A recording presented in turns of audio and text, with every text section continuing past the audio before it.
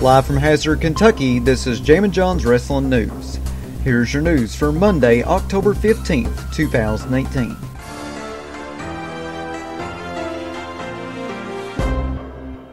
First and foremost, I would like to address the current situation going on between the WWE and the Kingdom of Saudi Arabia. Now, for a lot of you that know, there is a major controversy surrounding the Crown Jewel event, and a lot of you are probably wondering, well, what the hell's going on here? Well, I'm about to fill you in on everything. So, a couple of weeks ago, there was this world news story that came out on all major news networks that a Washington Post journalist by the name of Jamal Khashoggi, I might have butchered his name there, and I apologize for that, went missing. A day went by, and all these major news networks reported that Khashoggi was an outspoken critic of the Saudi crown prince and the royal family of Saudi Arabia. Of course, the ones that made the deal with the WWE to do the two shows a year for 10 years. Apparently, Khashoggi was invited to go to a Saudi Arabian embassy in the country of Turkey, and he was never heard from again. Many speculate that Khashoggi has been murdered by the Saudi Arabian government, though Saudi Arabia themselves have stated that he is alive, he's just detained. But many countries do not believe that. So it's basically along the lines of he said some bad things about the crown prince and royal family, and it's looking like they murdered him because of what he said.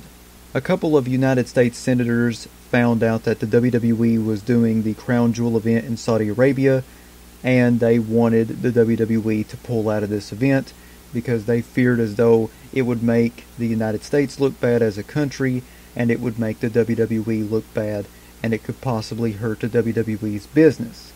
And so that's how the WWE got into all this controversy with Saudi Arabia and Jamal Khashoggi.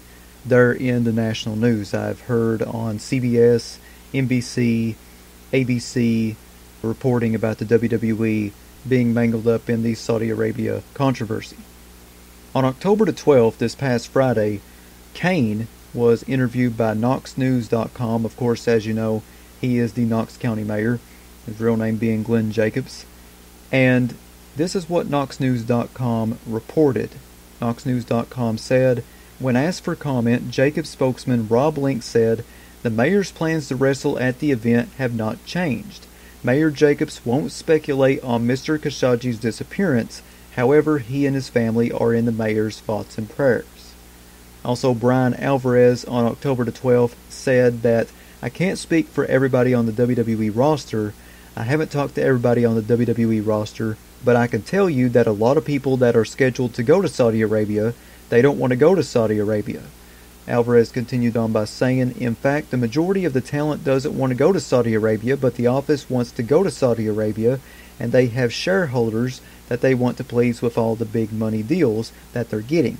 We'll see what happens.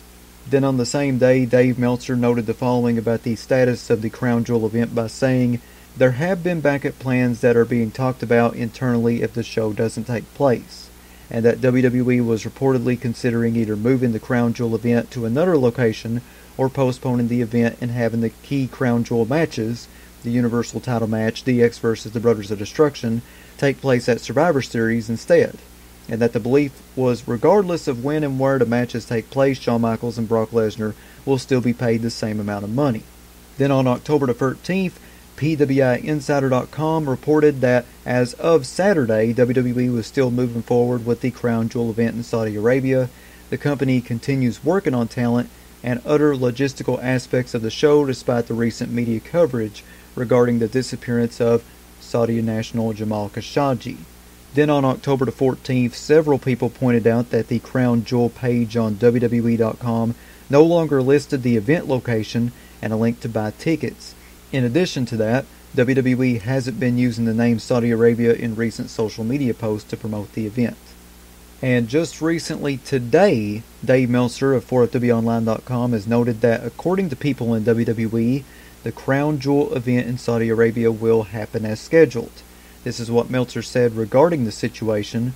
What I was actually told was that unless the State Department tells them they can't go, or Donald Trump tells them they can't go, then they are going. Course, as you know, Linda McMahon is the head of small business. She is a member of Donald Trump's cabinet, And I watch the news a whole lot, and I can tell you that all the major news networks are reporting that Donald Trump has said that if Saudi Arabia did kill Khashoggi, that the United States would retaliate for that, though who really knows what's going to happen. So, the recent update is that the Crown Jewel event is still going to take place, though things could change. Who really knows what's going to happen? This is all a huge mess, and it's not looking good for the WWE. I heard a rumor that they lost over a billion dollars in shares because of that, though I don't really know if that's true. Take that with a grain of salt. Seriously. You know how people are on the internet. But the latest news, it's still going to happen. Stay tuned to Jammin' Jon's Wrestling News for any further breaking news updates on this story, and there will be more breaking news updates on this story as time passes. New Japan Pro Wrestling star Tama Tonga wrote the following message on Twitter, which has gotten fans talking. Tama Tonga tweeted, The Elite doesn't exist without Bullet Club. Good luck in WWE. Johnny Impact defeated Austin Aries to win the Impact World title at last night's Bound for Glory pay per view. People on social media have been speculating about the end of the broadcast because after the free count, Aries immediately got up and pointed towards Don Callis. He flipped off the crowd and then abruptly walked out. Impact was seen mouthing the words, Are you kidding me? and the announcers did not say anything about Aries. Could be a work, then again, it could be a shoot. Who really knows? Also, speaking of Impact Wrestling, they sent out the following today. It's the venue where it all started the Asylum in Nashville, Tennessee. Impact Wrestling returns to its roots for Homecoming, January the 6th, 2019 live on pay per view. Former WWE star Shelly Martinez, you remember her as Ariel in WWE, she was the valet for Kevin Thorn on ECW, responded to the following tweet from Vince Russo. Shelly Martinez tweeted, I almost got raped while on an overseas tour. Since then, others have shared with me they were raped. So sad. Martinez also told the following story on Women's Wrestling Weekly by saying, I almost got raped when I was with WWE. We were overseas and there was a guy. He wasn't my boyfriend, but I'm the kind of person who, when I'm just dating somebody, I only date one person at a time to see if I like them or whatever. I'm like a stage four clinger. So what happened is that they separated us, and since I was in ECW, what would happen is half of us would go with Raw and half of us would go with SmackDown. So when they separated us, there was a group of guys who said, our goal is to see who the first one to get you now that they separated you. I was like, dude, it's not even going to happen. And he was like, he's not even your boyfriend, who cares? I was like, I don't care, I like him. So it became some sick game, and the next thing I know, it was after a show and we were partying or whatever. And the only reason why I don't say the names right now or haven't yet publicly is because there is a lot that I don't remember, and I don't want to be saying stuff that I don't remember. But I will say, and I've never said this before, but there was a group of guys, and one of them was Umaga, and when they saw he was getting the most aggressive with me, they left, and he got on top of me, and I just prayed. One of my fears is being raped because when I was a little girl, I had some sexual abuse stuff, so it's just something that I feared. Martinez continued on by saying, So I prayed because he's a big guy.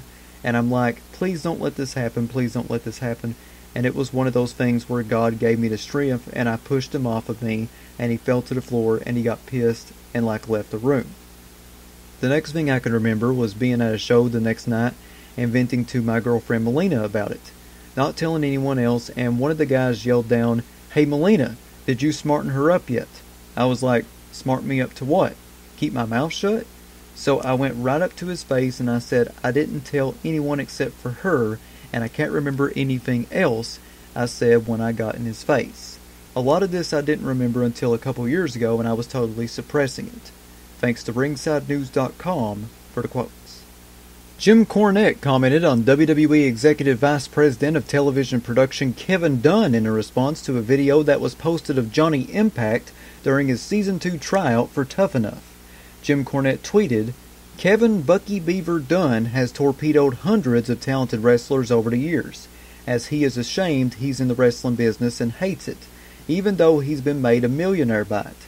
What he doesn't know about wrestling could fill a library. Also, he's a butthole. But of course, he didn't say that. He said the other word. Gotta keep it PG.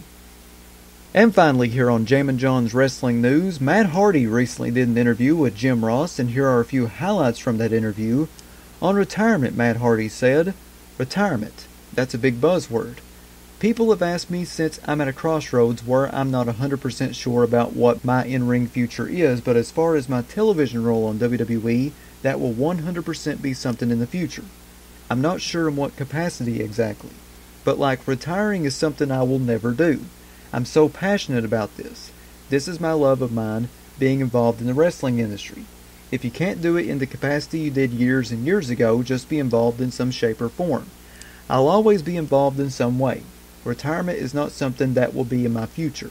And on becoming a road agent for WWE, Matt Hardy said, It definitely interests me. It is something that has been talked about. It is something I've experimented with a little bit in the past, and that could possibly be a part of my future. And when I return to the company at WWE, I'm very confident I will have an on TV role as well, but I will also have a behind the scenes role. A producer role is something which I definitely think I could do one day. I don't know if that day could be in four weeks from now, or four years, or ten years from now, but I'm sure I'll do that at some juncture. Thanks to Raj.com for the quotes. That is your news for Monday, October 15th, 2018.